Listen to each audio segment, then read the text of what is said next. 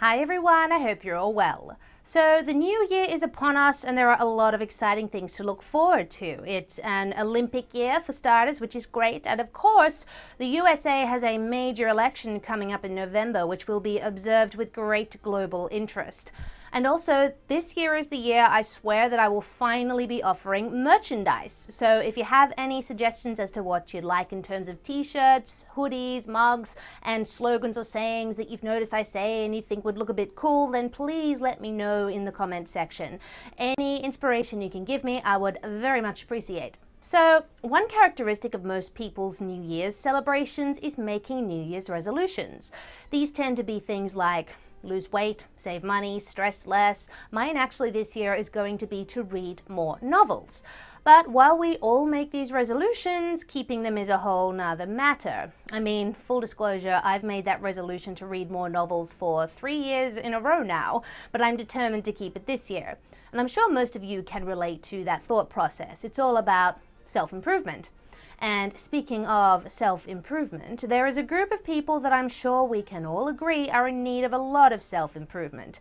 I talk about them quite a bit on my channel, and I have made a number of videos addressing their flaws, foibles, and hypocrisy. And of course, I'm talking about progressives.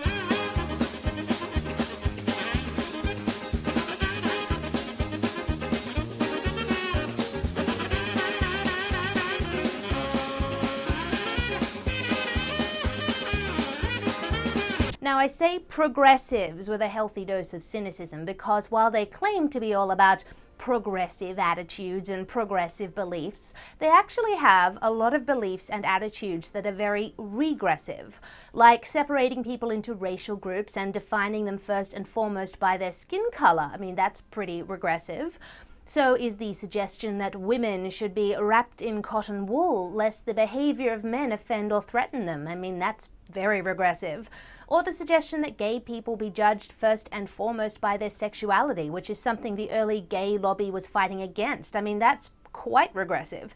Hence the rather apt nickname they've earned, the regressive left. As such, and in the spirit of the new year, I have thought of three New Year's resolutions for the regressive progressives out there. I mean, it's all very well for me to criticize, but nobody is inspired to change and to improve by being lectured. Perhaps it's time to try some, you know, positive critique. Tell me I'm good. Resolution number one stop taking everything so personally. That's one of the big things that separates the regressive left from conservatives. Progressivism is based on a combination of self-righteousness and fear.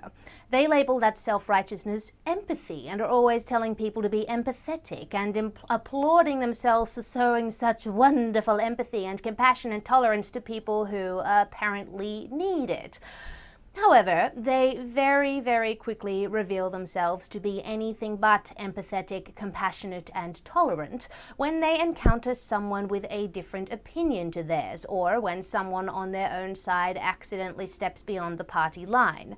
Then they become abusive, aggressive little thugs and go out of their way to belittle and humiliate their target into submission as if the subject needs to somehow atone for the terrible mortal sin of disagreeing with the progressive mantra. The power of Christ compels you. Does it, Jay? The power of Christ compels you. Is the power of Christ compelling me? That's why self righteousness is an accurate descriptor. Being self righteous involves both pleasantries and rage.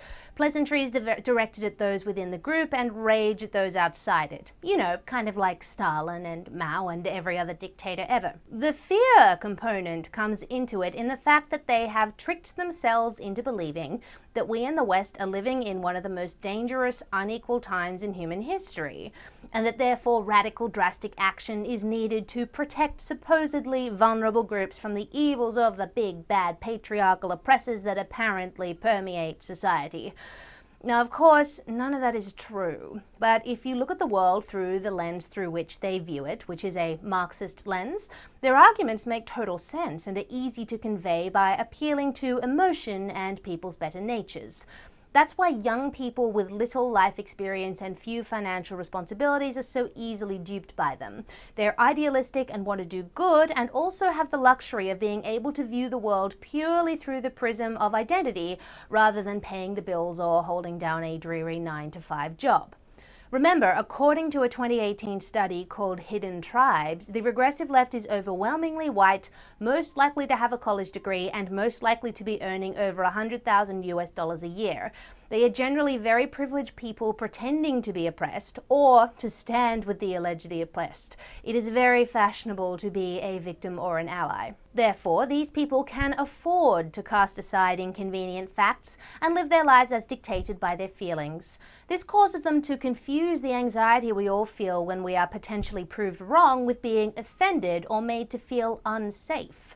It's also why they avoid consuming opposing viewpoints. They believe the healthy discomfort humans feel when their opinions are challenged is somehow harmful and to be avoided. In short, they take everything very, very personally. It's why they equate reasoned academic criticism with personal attacks, and why they can quite happily justify personally attacking someone as intellectual critique. You are rude and mean and sloppy and frizzy. I don't like you at all. Feminists take this to the next level with the slogan, the personal is political, a saying popularized in the 70s which expressed a common belief that the personal experiences of women are rooted in their political situation and gender inequality. Ugh. Now, look, I feel really sorry for progressives living in that kind of universe. I mean, for one, it denies them any kind of opportunity for self development or learning, and also it causes a huge amount of anxiety over what they think and do and say. So, resolution number one for progressives stop taking everything to heart. It's not healthy and not necessary. As the saying goes, it ain't personal, it's politics. Resolution number two stop accusing conservatives of doing what you yourselves are doing. I'm sure most of us have come across the saying, accuse the other side of that which you are guilty. The origin of this phrase is contentious, but it is a perfect descriptor for the modus operandi of the regressive left. They relentlessly accuse conservatives of stuff they themselves do, and then they play the wounded card when that is pointed out to them. For example, we've all heard progressives talking about how divisive politics is nowadays, and how divisive conservatives are, and how divisive their rhetoric is, and how divisive Trump is. The problem is, it's they who are dividing society because of how deeply personal they have made politics. Not only that, identity politics and intersectionality, which is the core of regressive leftist thinking, is by its very nature divisive. It pits different societal groups against each other in a sort of oppression Olympics to see who is the most allegedly hard done by, and also presents them with a common enemy, that is, the straight white man, to unite against whenever there is a tiff within the ranks and they will never see it. They will never see their hypocrisy. Honestly, I remember after the 2016 election, just after Trump had won, Progressives were walking around in a dismayed daze, saying how suddenly everyone was so divided and that there was this sudden division in politics. And I remember thinking, um, no, everyone has always hated you. It's just now people finally have the guts to say so. And yet they accuse conservatives of being divisive. I mean, that's bizarre because conservatives believe in individualism and literally do not care about identity groups. We treat everyone the same in our interactions with them, regardless of skin color, gender, sexual orientation, etc., and believe we're all united by our common humanity.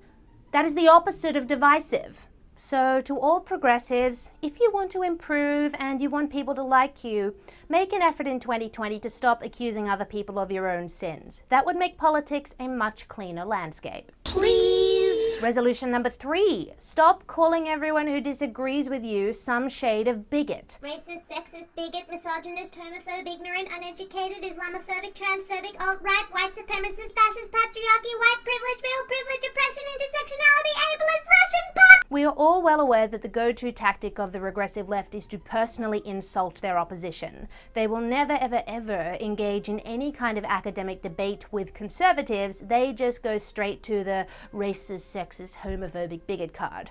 Now, this is for a few reasons. First, they believe conservatives are bad people. As the saying goes, the right think the left are naive, but the left think the right are evil. And why would anyone try to reason with evil? Humans try to vanquish evil because evil can't be reasoned with. That's how leftists have characterized conservatives. They are very, very sure that they, the progressives, are the warriors for good and that right wingers are evil people who need to be intimidated into silence. The best way to do that in modern society is via the internet. That's why you see all that online dogpiling. Destroying someone's reputation and undermining their confidence is a very good way to shut someone up. The regressive left thinks they're teaching conservatives a lesson when they do this. I know this because they've tried to do it to me multiple times on Twitter, and they are perfectly happy to admit it is a coordinated effort. If you're authentically uplifted by this effort, well, you poor thing. Obviously, it hasn't worked though. The second reason they do this is because they don't have any kind of factual basis for their arguments. Everything they believe is based on feelings and only half the story. That's why it's so easy to get them in a debate and why they never actually want to take conservatives on intellectually. It's much easier to demonize people than risk being academically trounced by them. It's also straight out of Saul Alinsky's rules for radicals, rule number 13 to be precise, which is pick the target, freeze it, personalize it, and polarize it. Cut off the support network and isolate the target from sympathy. Go after people and not institutions. People hurt faster than institutions. Pretty sinister stuff, but absolutely characteristic of the way the regressive left operates. Another reason they do this is because it protects them from the anxiety of being wrong. And as I mentioned earlier, they confuse this healthy doubt with being offended or feeling unsafe. So, demonizing your opponent rather than engaging with them is just a convenient way of avoiding any kind of intellectual rigor or uncomfortable soul searching by retreating into echo chambers where everyone very comfortingly tells you you're right. And as for accusing conservatives of retreating into echo chambers as well, don't even go there. The majority of journalists are left wing. There is a very interesting article by Politico, which is a left leaning website, about the leftist media bubble. If you want the full details, I have included it in the video description. Trump gets 92% negative media coverage, according to the Media Research Center, and every A list celebrity attempts to be a left wing influencer. Leftist dogma is all the way through popular culture. As such, conservatives couldn't avoid left wing opinion if we tried. We have to actively search for right leaning news and commentary sources which are usually outside of the mainstream media just to get a different perspective. This is likely why conservatives are so good at debating progressives. We are very aware of their arguments and so know exactly how to counter them. The reverse is just simply not true. Yeah, well, you know, that's just like, uh your opinion, man. It's also pertinent to note here that for all the personal attacks regressive leftists launch at their opponents, they are useless at receiving them. They can dish it out, but they can't take it because they are so sure they are correct and that their enemies are wrong and evil that they feel they're justified in saying and doing anything they want to them, no matter how vicious. However, the minute someone throws it back at them in retaliation, they scream and cry and play the victim because how dare anyone talk back to them, the supreme enlightened moral class. Plus, considering they spend so much time in these echo chambers, bending over backwards not to offend or contradict anyone, they have no resilience to criticism or taunts, none at all. They are simply not used to it because they never have to defend themselves. Conservatives, on the other hand, are constantly being called names and dogpiled and always having to defend themselves. We are forged in fire. That's why we retaliate so sparingly. We don't usually feel the need because we don't care that much. But when we do retaliate, boy do we make it count. Darling, sit down. When was the last time you could wear horizontal stripes? Ooh, burn! So, to progressives, how about in 2020 you switch your strategy up and actually attempt to engage intellectually with your political opponents? You might learn something and you might find what they say interesting, and you may even be able to strengthen your own arguments and thus improve your cause. How does that sound? Well, there you have it. My three New Year's resolutions for progressives. I'm sure the progressives will not keep them, but hey, we live in hope. If you liked that video, please remember to like, subscribe, share, leave me a comment, and if you really, really liked it, then check out the video description for my Subscribestar link and other ways you can support me.